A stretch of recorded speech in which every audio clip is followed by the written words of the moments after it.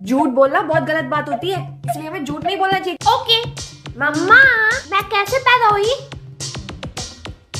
तुम वो ना हमने भगवान जी से बहुत प्रेयर की कि हमें एक प्यारा सा बेबी चाहिए छोटा सा बच्चा दे दो। फिर भगवान जी ने हमारी सुन ली वो ऊपर से आए और तुम्हें हमारी गोद में लेके चले गए। ओके मम्मा! झूठ मत बोलो। गोदी में नहीं है आपके पेट